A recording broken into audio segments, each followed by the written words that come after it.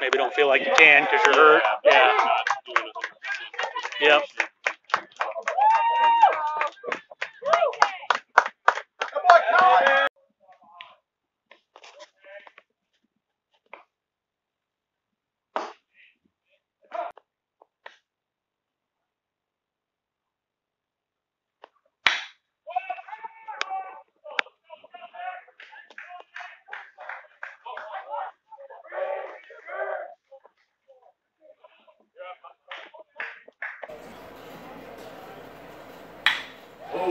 ball game. Game over.